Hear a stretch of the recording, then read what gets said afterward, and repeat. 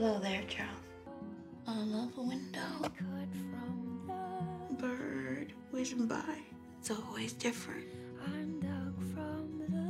The whole of life already framed. and cut from the Right there.